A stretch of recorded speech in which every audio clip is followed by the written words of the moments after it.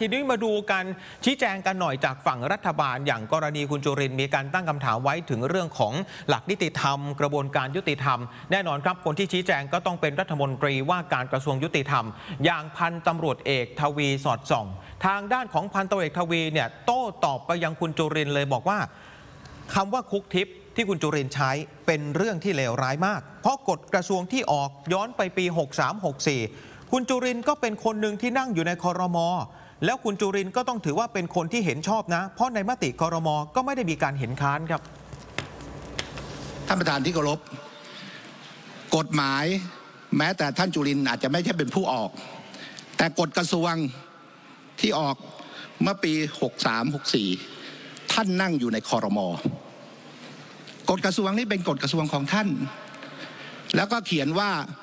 ที่ท่านบอกติดคุกทิพนี่ผมถือว่าเลวร้ายมาก ไปดูท่านไปดูในเจตนารมณ์ของกฎหมายเนี่ยไม่ให้รัฐมนตรีว่าการกระทรวงยุติธรรม ไม่ให้กรมราชทัณฑ์มีดุลพินิษเลย ให้ใช้ความเห็นของแพทย์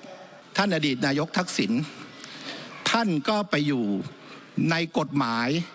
และกฎกระทรวงที่จั้นจุรินเป็นผู้มีความเห็นชอบ เพราะผมไปดูมติคอรมอท่านไม่ได้มีค้านเลย วันนี้ท่านทำให้สังคมสับสน ว่าคนไปอยู่ ไปควบคุมอยู่ที่โรงพยาบาล ไม่ใช่อยู่ที่เรือนจำทุกคนในหนึ่งปีประมาณห้าหมื่นคน เวลาออกไปอยู่ที่เรือนจำเราไม่เคย เราก็หักว่าเป็นโทษจำคุกเท่ากัน ไม่เคยหักวันว่าไปรักษาตัวจะต้องมาติดคุกเพิ่ม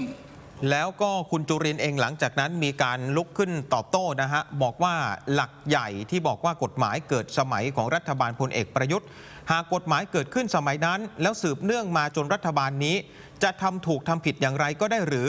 หากเรียกตักกะแบบนี้เนี่ยคุณจุรินบอกแบบนี้อาจจะเรียกว่าเป็นตักกะวิบัติ แล้วคุณจุรินก็ย้ำนะฮะว่าเรื่องที่ตัวเองได้อภิปราย คือเรื่องที่จะเกิดขึ้นในอนาคต อยู่ในความรับผิดชอบของรัฐบาลนี้แบบเต็มร้อย อย่างเรื่องของระเบียบ การกำหนดคุณสมบัติให้คนที่จะไปติดคุกที่บ้านได้ ว่าจะรวมคดีคอร์รัปชันหรือไม่ แล้วก็ย้ำว่าที่ผ่านมาตัวเองได้ปฏิบัติตามรัฐธรรมนูญ และข้อบังคับทุกประการฮะ